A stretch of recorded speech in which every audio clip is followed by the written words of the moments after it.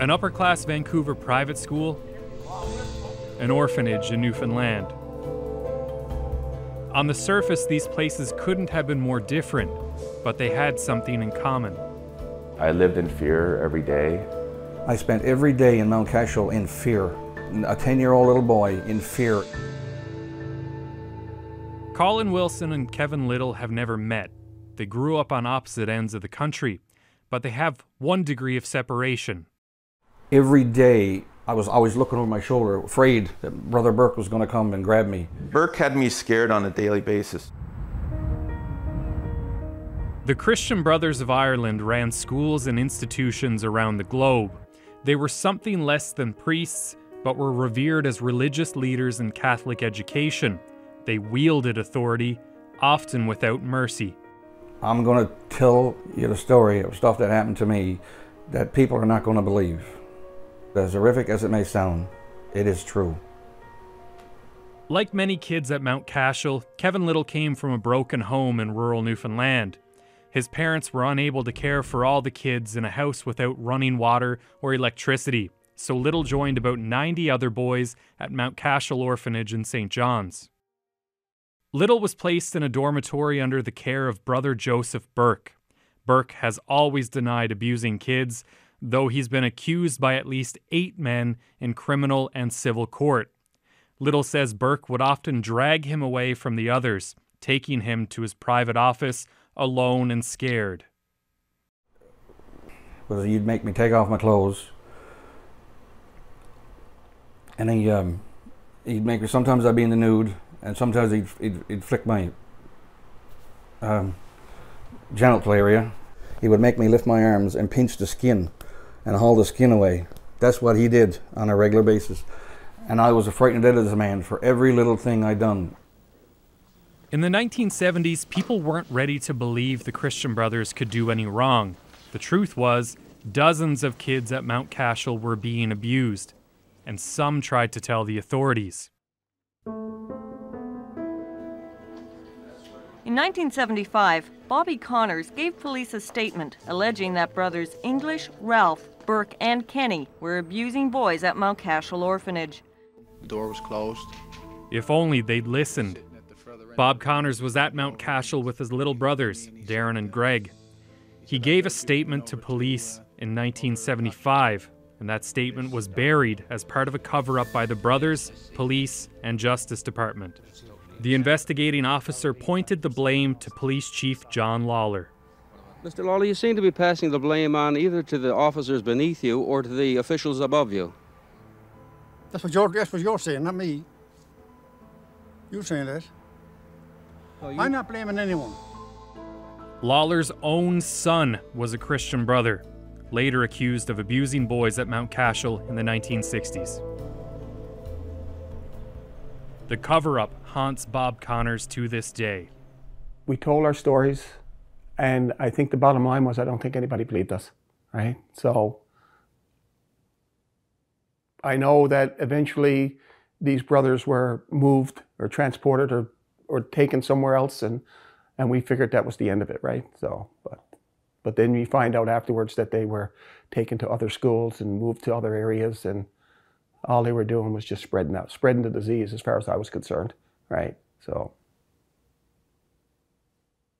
Ten years later, Colin Wilson was a grade 9 student at Vancouver College. His class clown antics caught the attention of his teacher, Joseph Burke. Wilson says Burke took him and three other boys under his wing. They'd meet in his office at the back of the cafeteria, one at a time, while the others waited outside. I'd get hit, and it was probably up to 10 times um, over the pants with, uh, with his hand. That was stage one. Stage two was if you he felt that you needed more punishment, he would pull out, uh, he would make you pull out of the top drawer a piece of wood, probably the consistency of a hockey stick, um, maybe that long, and pull that out. Uh, again, assume the position you'd lay across his desk, and um, he would hit you with that, which was way more painful than his hand. And he would always threaten you with stage three, which was the bare bottom spanking. Wilson says Burke went to step three one night in December 1985. It was too late to stay in his office, so Wilson says they locked up the school and left. We got into his van. It's dark. We drive into the Mar- Marpole area to his apartment. He then uh, asked me to drop my pants, which I did, and I stood there in my underwear, and he said, all of it. Um, at this point, I'm like crying, snot and everything coming out of my nose, and put me across his lap and um, hit me. Um, yeah, probably the normal 10 times, and, and, then made me go back, dress myself, and uh, we got back into his. Uh, uh, into his van. He dropped me at the closest bus stop that would get me back to Richmond, and um, and I never told my parents. Wilson says those experiences followed him after Vancouver College. He was diagnosed with anxiety in the 90s and he battled addiction over the past 30 years. I just recently did a stint in a, in a recovery center for alcohol abuse. Um, and when I was in there, I had to go back into my past and I had to find, we did a session where I had to find traumas of my past. Wilson says that inspired him to see whatever happened to Burke, but he wasn't prepared for what he found. Fifteen years after the cover up, the story broke. I am not certain. A judicial inquiry led to charges against 14 men. Burke was convicted of assaulting four children, including Kevin Little and Bob Connor's youngest brother, Darren. However, all but one conviction was overturned by the Supreme Court of Canada.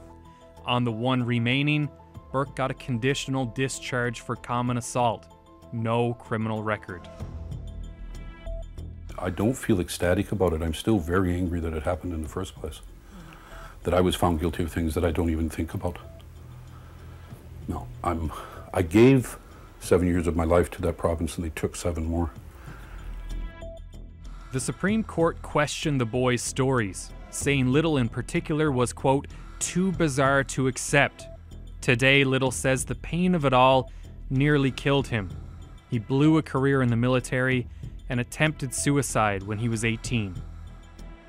But like I didn't understand because I was physically an adult, I was mentally still a child. Like I never had that chance to grow up. I wasn't had that, never had that chance to be taught to be safe and secure, like a child should be. Darren Connors was also wrecked by the outcome. Joe Burke's a piece of garbage. Joe Burke should go to jail. Joe Burke did what he did. You know, if he was here, and you know, I've, you know, I said it to his face in court, and I'll say it to him again, anytime, anywhere, any place. The man did what he did. He did it to me. He did it to a number of other people. He's a statistic bastard. Bob Connor says his little brother never recovered from Mount Cashel or the sting of being disbelieved. Darren struggled. Darren and my other brother Greg, they both struggled big time, right? I think because I latched on and I got married and I had support, they never had the support like I had, right? So I think it was hard for them, and, and especially relationship wise. They couldn't have relationships, right? Either one of them. So I think they bonded together, they moved in together and bonded with each other, and that was their support. That bond was eternal. Greg Connors died by suicide in 2014, and Darren followed in 2016 in the same room where his brother died. I think Greg and Darren just gave up, right? They just, there was no other way out for them. And eventually they took their lives, right? And it all had to do because of what happened in Mount Cashel. Of the brothers convicted, none were able to return to teaching, except Joseph Burke. Fresh off his conditional discharge, he returned to Vancouver College. He taught until 2013 when he retired amid an investigation into his disciplinary tactics. Mount Cashel was torn down in 1992 to make way for a supermarket. This small memorial is all that's left of the old orphanage, but there's strands of Mount Cashel that keep stretching out across the country. 65 men and counting are now suing six former brothers who left Mount Cashel for Vancouver College and St. Thomas More Collegiate. They're also suing the schools and the Archdiocese of Vancouver. Colin Wilson is one of those men, but he says he doesn't want any money. He just wants to know how this could have happened. I don't know if you know Sermon of the Mount, uh, where Jesus preached, beware of wolves in sheep's clothing. Well, that's what Mr. Burke was. He, he was able to manipulate the situation and, and, be your friend, and then on the flip side, turn into this evil man. And, and um, he's a very sick individual. He's caused a lot of pain for a lot of people. Ryan Cooke, CBC News, St. John's.